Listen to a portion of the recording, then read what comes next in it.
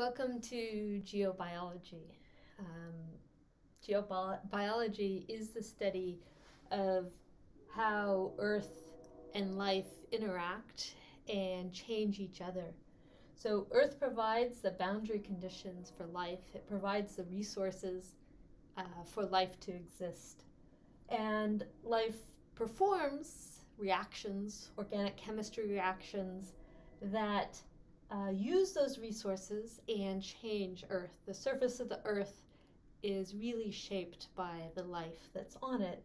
And as life has evolved through time, it has changed the surface of Earth through time.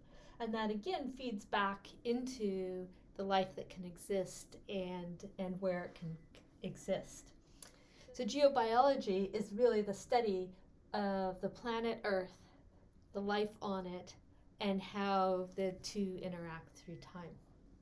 So, in the, the course of these lectures, um, we're going to cover a lot of different concepts.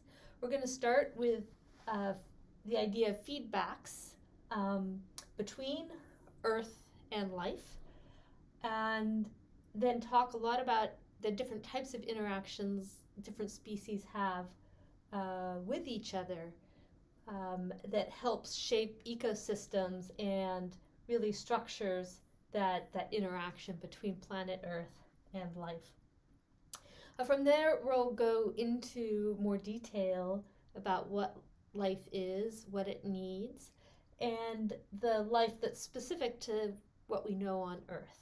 And in that particular case, we'll be talking about genetics and enzymes and how life evolves through time by the selection of the function of those enzymes and other components of life that's determined uh, by uh, the genetics.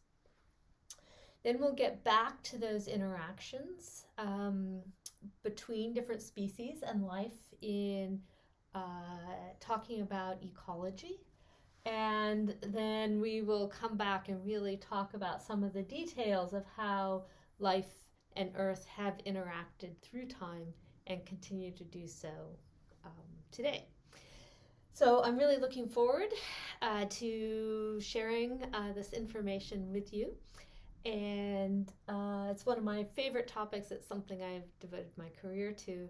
And it's always wonderful to, to share what I've learned. And um, I hope you enjoy it.